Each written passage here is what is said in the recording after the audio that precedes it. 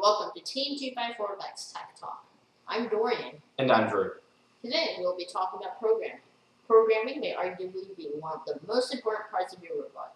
Bad code can make a well-built robot perform poorly. First, let's talk about the two programming envi- environments people use, EasyC and RobotC. Both have their benefits. EasyC, which is excellent for beginners using its drag and, drag and drop system, has an excellent compiler and supports full text editing. On the other hand, we love the built-in debugging function of RobotC. The active debugger is excellent for identifying problems quickly at competition. But at the end of the day, both environments are very overall, very similar overall. I personally use RobotC as it has some very useful built-in functions. You should become familiar with basic C-like syntax. Make sure you know how to use variables, functions, and loops. There are two sections of code for the VEX competition, operator control and autonomous. First, let's talk about autonomous. Autonomous mode can provide quick and easy points for teams. All you need are encoders or another sensor to measure distance. Basically, your autonomous should have a function that makes your robot go a specified distance or raise the arm to a specified height. You can achieve this using encoder values or potentiometers. Check the encoder value and see if it has reached the required value.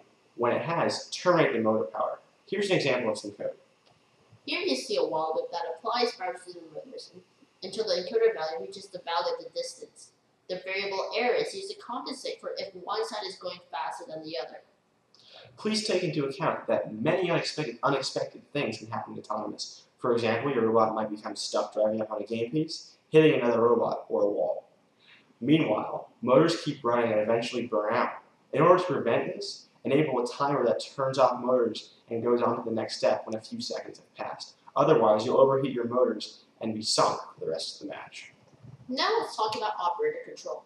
Basic operator control involves getting the value of the joysticks on the controller and transmitting those to the robot.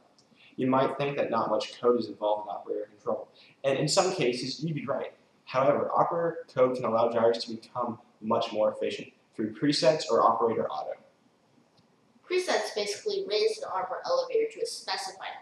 This allows drivers to raise the intake to the correct height without having to adjust it, saving time. Here's an example of code, which is very similar to the autonomous. Like before, a while loop applies power to the motors until the encoder value reaches within 2 or another margin of error of the value of the variable, variable height specified. After the height is reached, power is applied to keep the arm at the current height. However, it is important that the driver not lose total control of the robot when a preset is activated. In order to achieve this, when a button is pressed, it changes a Boolean variable to true. And while the Boolean variable is true, the arm moves up or down. Once the arm gets to the desired height, the Boolean variable then becomes false, stopping the operator auto. Thanks for joining us on another episode of 254 Vex Talk. We hope you'll come and check out our next episode on lifting mechanisms.